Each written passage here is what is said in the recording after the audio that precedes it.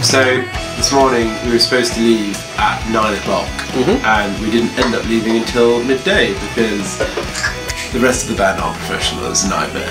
Um, so we went all the way to Wales. We stopped at every McDonald's in the world? At least two. Um, fun show tonight. We got to play with a load of cool bands. We got to play with um, Killjoys? Killjoys and Misha and the Spanks, and they came all the way over from Canada. They came over with the power of maple syrup and played a really good set. They So did, yeah. That was nice. And uh, yeah, She was five and a half months pregnant. five and a half months pregnant and playing a flying V in another country. That's um, yeah. Her guitar tone was better than mine. It was pretty It's very impressive. true. It's very true. And tomorrow we're off to Leicester, Yep. which is exciting. Are we playing? Um, the musician pub. the musician pub in Leicester. Cool. It's five are on the door. Ben, Dave? why are we sharing a bed? 2019?